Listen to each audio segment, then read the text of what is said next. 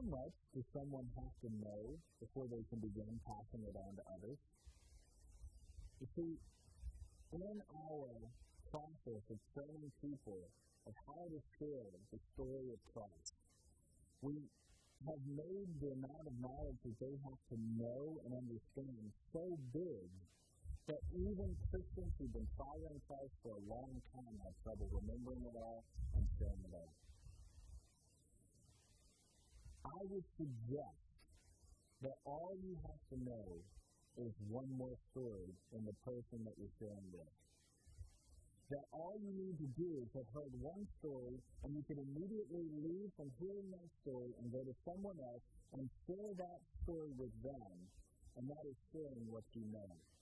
We don't have to increase our knowledge to make it so big that it becomes impossible to share in one sitting.